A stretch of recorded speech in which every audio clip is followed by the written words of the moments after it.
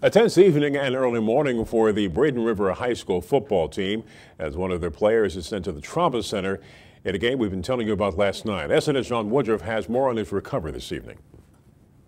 You're not a coach at that point in time. You are, you know, you're just a concerned individual for a young man that, you know, has a tremendous heart. In the final four minutes of a district game against Sarasota High School, football stopped mattering to Braden River coach Kurt Bradley. It's something that you're always in the back of your mind you never want to see. Outside linebacker JoJo Lewis, a player Bradley calls the heart and soul of his team, went down with a neck injury and lost feeling in his extremities. You're standing next to him, you're holding his hand as, as he's, you know, lightly squeezing it, and, and you're just thinking, man, just hope, hope this kid can you know, live the normal life that, that he should. Improper tackling techniques, such as leading with the crown of the helmet, are often the cause of on-field injuries in football. But Coach Bradley says that is not the case here.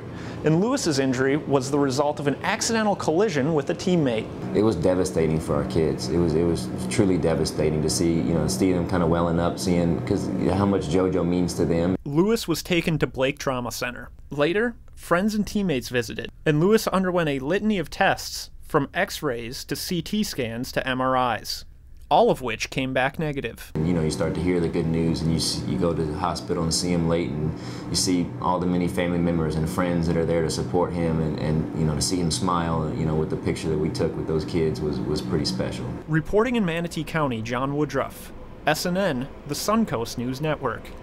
Now, coaches commend EMTs and resource officers for their response last night, as well as Sarasota High School football coach Brian Riles, who sent his support uh, to the Pirates in a text message this morning. Very classy.